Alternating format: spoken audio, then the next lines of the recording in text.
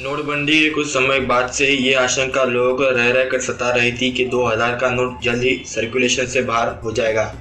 2000 के नोट को वापस लेने की आशंका कहाँ से शुरू हुई ये तो नहीं जा, कहा जा सकता। लेकिन सरकार की ओर से कई मामलों पर ऐसी किसी संभावना को खारिज किया जा चुका है। बता दें कि 10 अगस्त 2018 को सरकार की ओर से साफ़ किया गया था कि दो हज़ार रुपये के नोट वापस लेने का कोई प्रस्ताव नहीं है। लोकसभा में पूछा गया था कि क्या सरकार जल्दी 2000 के नोट को वापस लेने पर विचार कर रही है? इस सवाल के जवाब में वित्त मंत्री पी राधाकृष्णन ने कहा, ऐसा कोई प्रस्ताव नहीं है। दो हज़ार रुपये के नोट को वापस लेने की खूबसूरत को भारतीय रिज़र्व बैंक की ओर से 28 नवंबर 2018 को जारी किए आंकड़ों से हवा मिली। इन आंकड़ों के मुताबिक सर्कुलेशन में जो करेंसी है, उसमें से 9 नवंबर और 23 नवंबर के बीच ग्यारह हज़ार छः सौ करोड़ रुपए में कमी आई।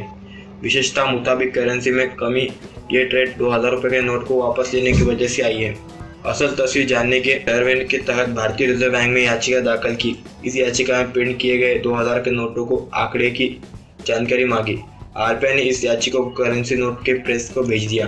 प्रेस में जवाब मिला वो प्रकार है। उपलब्ध रिकॉर्ड्स के मुताबिक आरबीआई के करेंसी नोट प्रेस नासिक दो हज़ार रुपये मूल्य के नए नोटों की छपाई का कोई ऑर्डर नहीं है, इसलिए वो प्रिंट नहीं किए गए।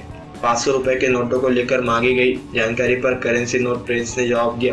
पाँच सौ रुपये मूल्य के तीन हज़ार पाँच सौ पैंसठ मिलियन नए नोट भारतीय रिज़र्व बैंक को चौदह सितंबर दो हज़ार अठारह तक डिस्पैच किए गए।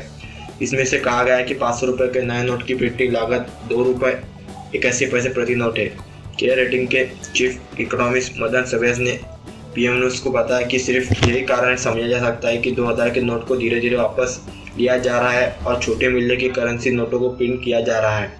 अन्यथा सर्कुलेशन में जो करेंसी है, उसमें इस तरह की कमी नहीं आती है। पी एम न्यूज़ 24 की रिपोर्ट